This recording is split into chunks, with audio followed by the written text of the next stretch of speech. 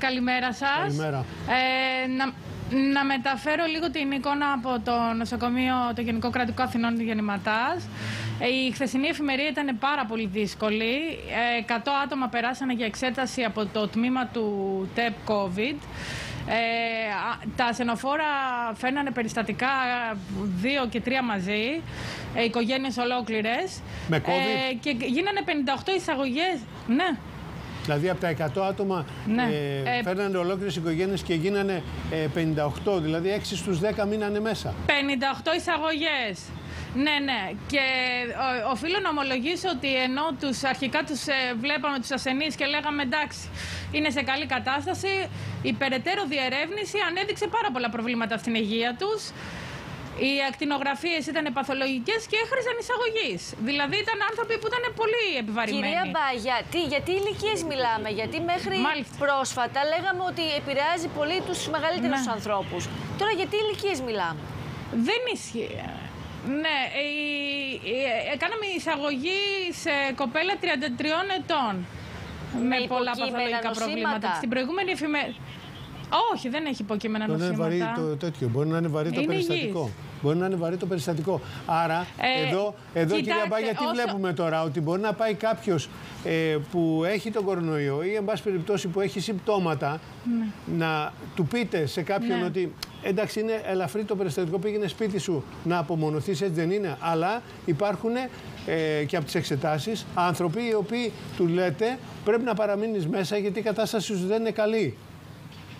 Σωστά το καταλαβαίνω. Και επιβαρύνεται και επιδεινώνεται πολύ γρήγορα Και επιδεινώνει. ε, από τη μία μέρα στην άλλη. Είναι χαρακτηριστικό ότι οι ασθενείς μπορεί να έχουν εξεταστεί και δύο και τρεις φορες Αρχικά να έχουν μια καλή κλινική εικόνα και να κρίνουμε ότι μπορούν να ε, παραμείνουν στην οικία τους με μια συντηρητική αγωγή και να επαναξετάζονται και να είναι πολύ επιδεινωμένοι. Πρόκειται για μετάλλαξη. Ε, και να σας πω ότι δεν γνωρίζουμε αν πρόκειται για μετάλλαξη. Δεν γίνεται γονιδιακός έλεγχος εξ αρχη Ε, υπάρχουν κάποιες υπόνοιες για κάποια περιστατικά. Είναι όμως σίγουρα περιστατικά που έχουν ε, διαγνωστεί με COVID. Άρα καταλαβαίνουμε ότι Έχουνε τέτοια, δηλαδή θετικό τέτοιες μοριακό νύχτες, έλεγχο. Να σας πω, τέτοιες εφημερίες είχατε ξανακάνει; Ε, ήταν από τις πιο δύσκολες ε, αυτές οι εφημερίες. Υπήρξαν και άλλες το Νοέμβρη και το Δεκέμβρη. Ε, τώρα αρχίζουμε να μετράμε και διασωληνωμένους όμως εκτός ε, ΜΕΘ. Κύριε Καπραβέλο, τα δικά σας τα Υπάρχουν καλά δέκα έχουν. περιστατικά. Τα δικά σας τα καλά. Ακριβώς, κύριε Αυτό που Κασαπού. τραβούσατε Δέκα- εσείς στη Θεσσαλονίκη. Σαν- Ναι, Ακριβώς έχουμε τα 12, ίδια, κύριε έχουμε Κασαπού. 12 περιστατικά.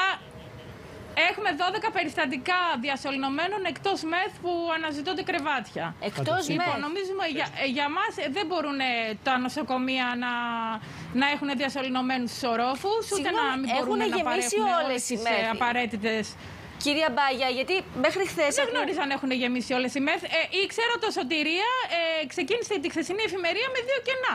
Όχι, σε εσάς. Σε Προφανώς εσάς λέμε. καλύφθηκαν. Σε εσάς. Όταν ε, υπάρχουν 12 κενά. Ναι, στα- στη- στο γεννηματά είναι όλες κατηλημένες. Όλες Ναι, και θα κατηλημμένες. πρέπει να αναζητηθούν αλλού. Να σας πω, Ε, κρεβάτια. επίσης κυρία Μπαγιέ, Νομίζουμε- ήθελα να σας ρωτήσω νομίζουμε κάτι που ότι, συζητιέται ε, πάρα πολύ. Ε, ναι. Έχετε από το γεννηματάς Ναι. φεύγει κόσμος με άλλα νοσήματα και πάει στον ιδιωτικό τομέα ή εν πάση περιπτώσει σε άλλα νοσοκομεία για να αδειάσουν χώροι να βάλετε ανθρώπους με COVID; Ε, έχουν κλείσει κλινικές, μια σειρά από κλινικές. Η Α-ορθοπαιδική, η Β' χειρουργική, ε, μια παθολογική έκλεισε ε, με αποτέλεσμα να συρρυκνώνεται η λειτουργία του υπόλοιπου νοσοκομείου. Έχουν περισταλεί ε, χειρουργία, εξωτερικά ιατρία και φυσικά ο κόσμος δεν μπορεί να έχει κα- ε, πρόσβαση στο σύστημα υγείας και απευθύνεται στον ιδιωτικό τομέα. Ε, στην αρχή της, του τρίτου κύματος τα περιστατικά που ήταν θετικά και ήταν νοσηλευόμενα τα, ε, τα διοχέτευε το γεννηματά και άλλα νοσοκομεία στην Παμακάριστο και στο Αμαλία Φλέμινγκ. Μπούκωσαν και αυτά. Δεν μπορούν να δεχτούν πολλά περιστατικά και αρχίζει η εξάπλωση εντός του νοσοκομείου. Δηλαδή να ανοίγουν συνεχώς κλίνες COVID στα δημόσια νοσοκομεία και στο γεννηματά, εις βάρος όμως της λυπής λειτουργίας. Ε, βέβαια.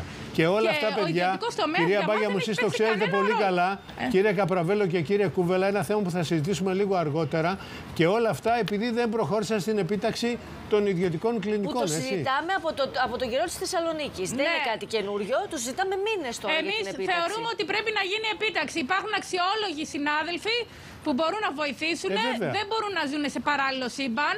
Δεν μπορούν να κάνουν αισθητικά χειρουργία ή να κερδοσκοπούν μόνο στα τεστ ή στα κατηργημένα και στα κυρωμένα χειρουργία του δημόσιου τομέα, να βάλουν πλάτη να επιταχθεί ο ιδιωτικός Σωστά το τομέας λέτε, υγείας. σωστά το λέτε, γιατί ο ιδιωτικός τομέας απουσιάζει